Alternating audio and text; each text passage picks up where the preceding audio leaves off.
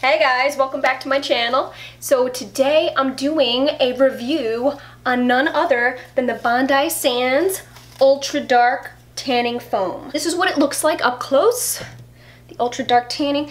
The dark and ultra dark tanning bottles look awfully similar. I almost bought the dark by accident, so just make sure that you go for the ultra dark, you make sure you read your label. I just want to start off by saying how freaking excited I am to try this product. Now that it's spring, and now that, you know, soon, hopefully, the warm weather will be coming out, I'm ready.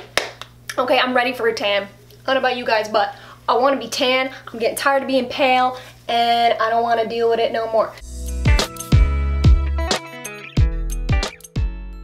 So if you guys have seen one of my earlier videos, I did a review on the Bondi Sands um, dry oil. I stopped using it specifically so that I can try this just on my natural skin. I started noticing that the dry oil was leaving my skin, especially around my legs, super, super like scaly and dry. It was drying me out really bad. So I finally went along and I went and purchased my Bondi Sands Ultra Dark Tanning Foam and I'm here to try it out for the very first time with you guys, up close and personal. I got this um, on their website. I did actually look on eBay because you know I'm an eBayer, and between shipping and handling it actually costs a lot more. So this was about $25 on their website. They do have a US distributor, so it wasn't too much in shipping and handling. It was only like $5 compared to if you went to their website and order from Australia, you're looking at like $30. For first time purchases, they do like 20% off. So I got 20% off. So altogether I spent 28. Seen reviews that everybody's raving about it. I am so excited. Here we go. So the directions are as follows. Step one, for an even streak-free tan, ensure your skin is clean, exfoliated, and free of any moisturizers. So I just showered, I just exfoliated, I just feel my skin right now feels disgusting because I'm used to moisturizing or using baby oil after I shower and now I feel dry and itchy, so I'm just eager to get this on right now. Step two, pump foam applicator firmly and apply Bondi Sands tanning foam liberally to a tanning mitt. And use long sweeping motions on your legs, arms, and body. Use remaining residue on tanning mitt for face, elbows, and knees. I'm scared to put it on my face because I don't want to break out, but I'm going to do it anyway. And you know what? Y'all are going to get to see firsthand.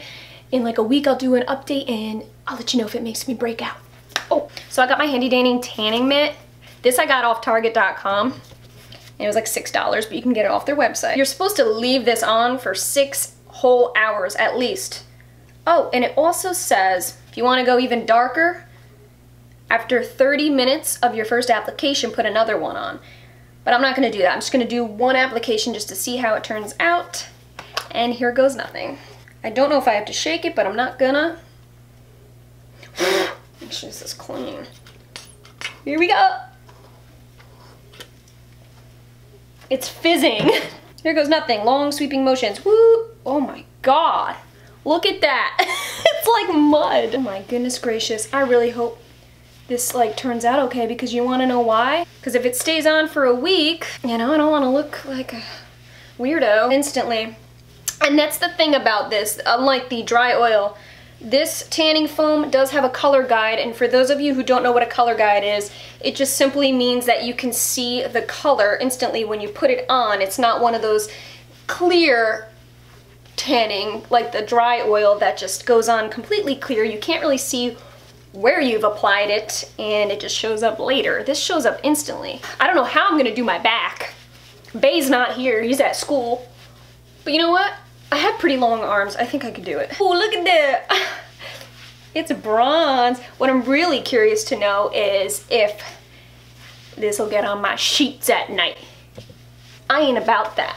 It has the same exact scent as their dry oil. That light coconut smell. I don't know if I should just... Let's see if you guys can see. Look at that. My tan is instantly on. Yay. This is, uh, this is awesome. All right. I'll do just my whole stomach. Just, oh my God, what? Look at my stomach compared to like my chest area. This is insane. Look at that. Was I in Hawaii? I don't know, was I? No, I've never been to Hawaii. All right, I will be right back. I'm gonna go apply this to my whole body. Apply it to my legs.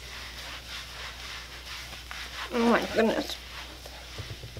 Yeah, I mean, it's a huge difference right off the bat. I look like I went on vacation. Okay, so I am now fully applied. Got my whole body, got my legs in there. I wish I got my legs and I got my face too. I got some tan on my face. So pros and cons off the bat. There's no doubt about it. This is an instant tan. You can see it when you apply it. It is dark. It is it is natural looking for the most part.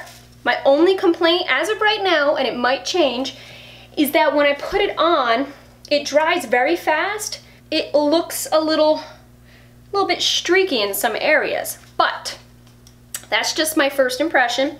And I'm hoping that after the six hours when I wash it off that it kind of blends in nicely. I'm thinking that's what's gonna happen because the reviews were so good.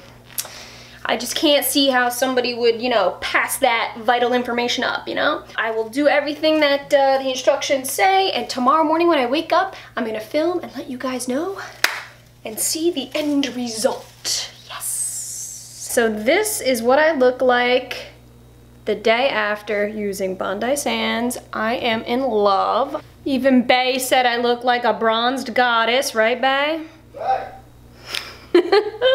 I used it on my face and so far I didn't wake up with any breakouts or anything. So right now I'm literally not wearing any foundation. The only makeup I'm wearing other than like lip gloss is like a little bit of just like eye stuff here.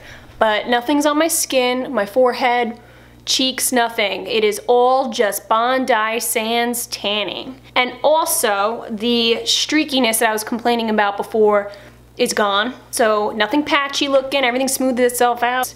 Even just this one use of this tanning uh, foam, my dry scaly skin's like going away. So this is my new go-to product all year round. I feel good, I feel confident, and uh, Bondi Sands for life, baby. But uh, as of right now, this rules out anything I've ever owned. Didn't even get on my white sheets.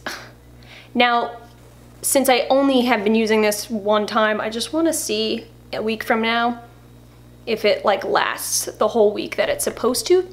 Other than that, if it lasts the full week, then this thing is 100%. Last thing I'm just gonna say is what I really love about it, that is you can apply as many coats as you want on yourself to achieve the darker look. So if you wanna look even darker, you just you just keep piling on layers. You want a bronze tan, then get Bondi Sand. Yeah guys, so I hope this review helped. Let me know if you like it, if it helped you at all, if you've tried it. Let's chat it up a little bit. Thanks for watching.